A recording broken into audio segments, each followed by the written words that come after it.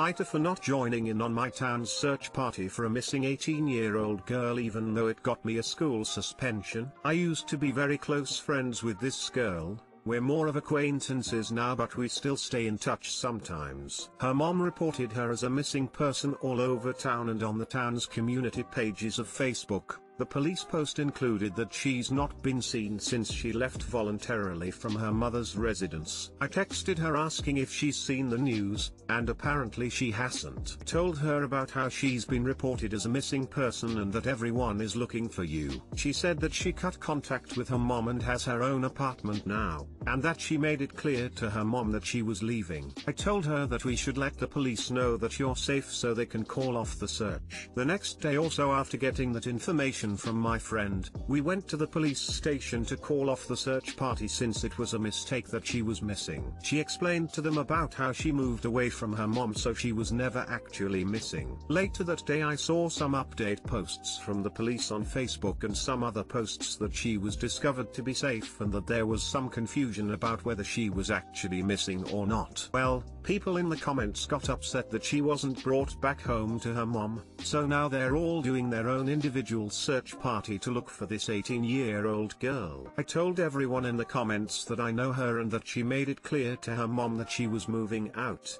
and that I saw her at her apartment the other day perfectly fine. Then I got a bunch of comments coming back at me saying I should be ashamed of myself and that a child her age is not capable of being out on their own and that I should give them her apartment address. What are they gonna do? Break down her door. Even at school staff have been saying things to me here and there about how I should knock some sense into my friend. My friend and I are still in high school. I think it's weird they're all talking to me behind her back as if she doesn't know what she's doing. And then another thing is that her mom posted a comment under the police report saying just to give some advice to parents out there please, please, Please keep some sort of tracking device on your kids' phones that will track them even if the phone is turned off. I wish to God I would have done one on underscore, even though her daughter left willingly. Told everyone that but I got more replies of you don't know if she really did. Someone could have influenced her to leave her mom. It gets worse, I got an in-school suspension, a suspension that lasts two to three days but I stay in a reflection room all day long,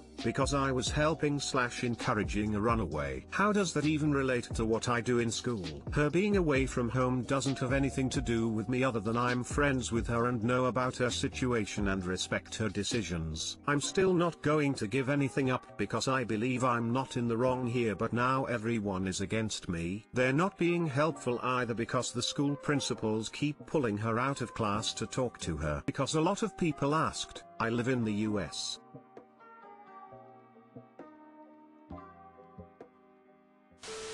NTA. Unless this girl has reduced mental capability, she's not a child anymore. She's an adult, and doesn't need protected or rescued. What the fuck is up with this stupid ass town? I really can't comprehend this shit. Is the whole community dumb? Definitely NTA. I don't understand how everyone is somehow blaming you. You literally helped more than anyone else in this story. You located the girl made sure she was safe realized that she hadn't been missing then you both informed the police so they could let everyone know that the girl wasn't missing after all and is safe. To me it sounds like the girl's parents are overly controlling and have convinced their friends slash school staff of a different story, one where you're helping hide a runaway. As far as the suspension, I'd contact your school board immediately regarding that because there's so much wrong with that, that I barely know where to start. First off, even if their accusations were true that you were encouraging a runaway, which clearly isn't the case, you can't be punished for things that both happen outside of the school property and doesn't have any effect on the school. Second, you can't be suspended for the actions of another student, plain and simple. They can get in legal trouble for this, so if they want to get all huffy about that, a quick mention that you'll get a free consultation with a lawyer and run it by them, should shut the school staff up. Third, since they gave you a suspension for encouraging a runaway, that's going to be permanently noted on your record. That right there is both slander and defamation of character. Both illegal and can have some serious consequences for the school and the staff that put that on record. Basically not only are you not the asshole, but you also have a fairly solid case for legal action to be taking against the school and the staff that are, as far as the law would see it, harassing you. I will say I'm no lawyer, but I do have a few family members who are lawyers, so I'm somewhat familiar with how things work and yeah I can say for sure a lawyer would love to have this case because it's what they'd call an open and shut case, meaning very easy to win. WTF did I just read? When did we stop counting 18 years olds as adults that can make their own decisions? I moved out at 17 and never looked back. Your NTA for protecting your friend and her wishes. NTA. You should challenge the suspension with your school and the school board. You can call lawyers to ask for advice. You may find one willing to give a free consultation. Your friend is an adult and unless there are laws where you live that give guardianship of 18 year olds who are still in high school to their parents, no one has any business telling your friend where to live. I'm wondering where the ops parents are in this because the school is overstepping its bounds. The ops friend is an adult. Her friend's mom sounds controlling. And the friend went to the police and the police stepped back. Ops parents need to fight the school on this because op did nothing wrong.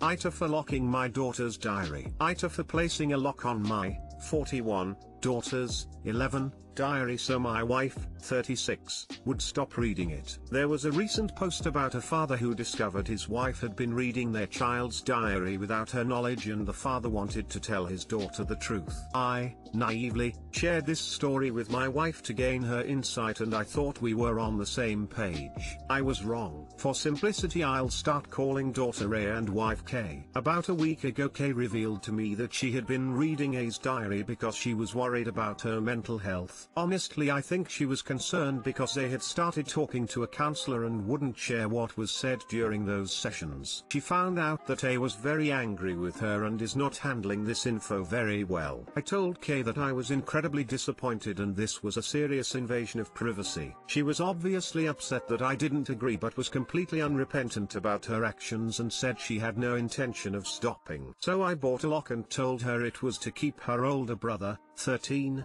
and little sister, 6, out of it. I did not mention her mother, I just can't bring myself to tell her. My wife now thinks Ita because she just wants to gain insight into A's mental health and I believe she should sit down and have an honest conversation. So Reddit what do you think? Reddit, first I want to thank everyone who contributed to this post. Your well wishes did not go unnoticed, your advice was taken to heart and your stories have opened my eyes to so much that needs to change in my house. The awards were humbling and greatly appreciated. I hope there was some catharsis for those that shared and please know my heart hurts for you all. My wife and I have begun talking about attending therapy ourselves. I think she may have noticed the lock and gotten the message, I don't know for sure. I am going to sit them both down and we are going to go over a lot of the advice here. I also want to thank those that offered the harshest criticism. You gave me some of the greatest clarity. I love my wife for all her imperfections and she loves me with mine so I think it's worth the fight. NTA. And as someone who had their parents read my personal writings, Thank you. Your daughter's privacy is important, and having someone read something personal is a huge breach of trust. And like you said, if your wife is that concerned about your daughter's mental health she can talk to her about it. Edit, I just wanted to say to everyone commenting about their own stories of having their trust broken and privacy violated. I'm sorry that happened to you, and I know some will never get over it. I hope things are better for you all now, and you have someone that you can trust that makes you feel feel comfortable and listen to. Also, thank you everyone for all of the awards, this is so sweet of you all. Wish every one of you a good day, and for good things to come to you all. Smile.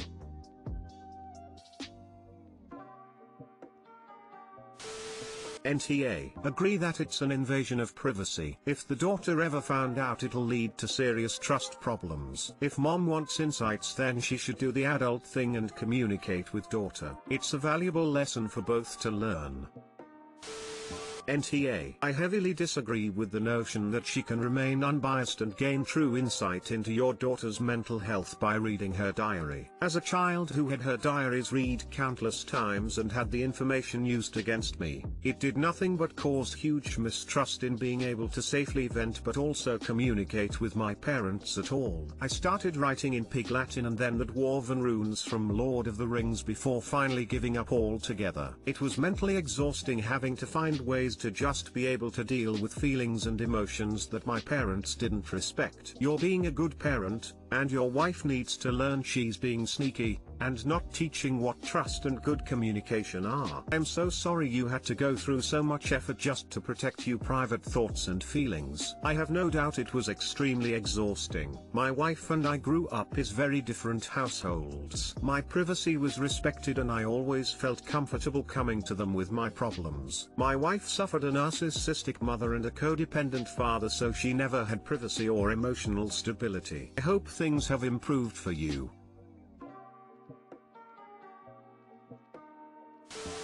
NTA. Your wife was being sneaky. If she was truly worried about your daughter's mental health, she could have gone to A or the counselor and asked short of telling me things that violate patient confidentiality, what can I do to help A's mental health be better? And then bam, problem solved. Communication happens and problems are addressed. How dare you suggest proper parenting methods?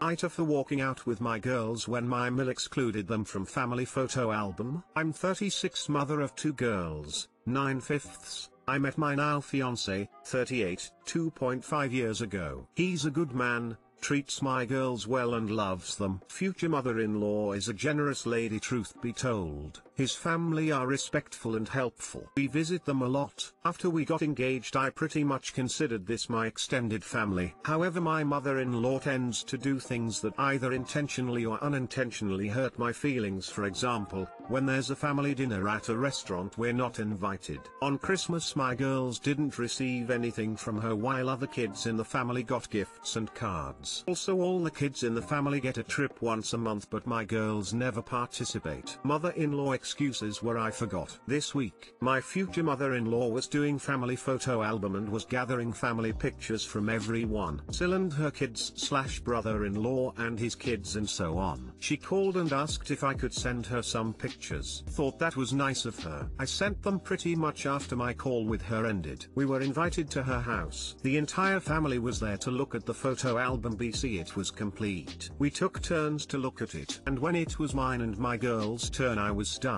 Turned out she picked the pictures that had just me and her son, not my girls. Although we took a ton of pictures. The four of us my girls were excited wanting to see the album then asked why their pictures weren't there. I didn't even want to think about how they'd feel. I was caught off guard otherwise I wouldn't have let them look at the album. I asked MIL why she excluded my girls and she didn't even reply she just ignored me. My fiance stared at me. I felt awful I got up, took my girls and walked out immediately. Everyone was confused. My fiance followed us then we left. At home he told me that I really shouldn't have walked out before dinner and should have just ignored this whole thing because who cares about a stupid photo album. I told him it's a symbol of family. The girls felt left out when all the kids' pictures were there except for the girls although I sent her pics of four of us as a family. He said his mom didn't mean it and promised that this will change once we get married and said he'll get everyone in line so I shouldn't even consider this a problem. And that my girls are the light of his life and that's the only thing that matters. And that I was overreacting over a photo album. Mother-in-law called and was upset saying me walking out like that was disrespectful to the entire family. When I told her about what she did, she bluntly said I don't wanna lie to people those girls don't relate to me in any way she said she loves them slash treat them well. We'll host their birthdays if I want but she won't call them family. I argued with her over this and I hung up on her since she didn't think she did anything wrong. Was I in the wrong? Did I overreact?